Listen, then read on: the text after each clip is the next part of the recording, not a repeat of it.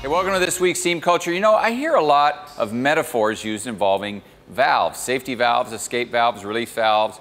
I hear people talk about it in the news and they'll say, well, something was going on over here, but something acted as a safety valve, or this is going to happen if there's no safety valve over there. Sigmund Freud had a quote that said, the dream is the safety valve for the overburdened mind.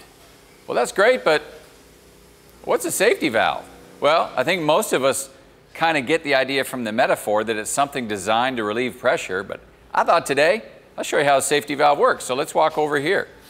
We're here in our valve shop, and there's a lot of valves in here. There's a lot of safety valves. Now, you got to know something about the safety valve. Originally, it was designed in 1869 by Denis Papin. Now, if that name's familiar, you've been watching Steam Culture for a while, because two years ago we did an episode on the first pressure cooker, or what was then called the digester, and the first pass blew up, and that's when he knew he needed a way to relieve the pressure, and the safety valve or the pressure relief valve was born. Well, there's lots of different variations today. You've got them on boilers, you have them on water heaters, things like that. These are safety valves sitting right here on the ground.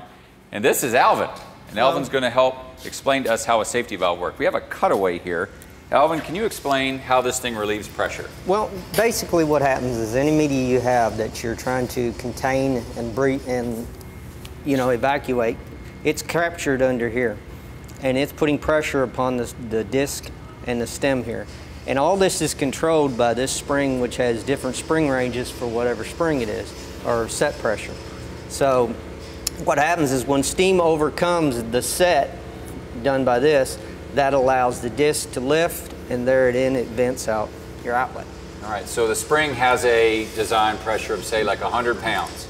Right. So Each, once this gets close to 100 pounds, it's going to overpower the spring. Right. And whatever it's set at, 99, 100, that spring range, it will overcome that, cause that spring to relax, and then relieve the pressure. Gotcha. Now, one thing you need to know, I mean, this is a steam safe, you know, uh, safety valve, but there's also ones for water, all different kinds of fluid, all different kinds of gases. Gas, water, Again, air. it's designed to relieve anything that's going to contain pressure, like your water heater in your house has one on the side. Very important that that works, by the way. So I thought for a little treat, I would show you what happens when the pressure overcomes the spring and it's kind of loud and it's kind of fun to watch. So I'm going to cover my ears. Hey, before we do this, I should say something. Thanks for joining me on this week's Steam Culture. Go find us on the web because we got great content for you each and every week, and I will have something fun for you. Fire in the hole!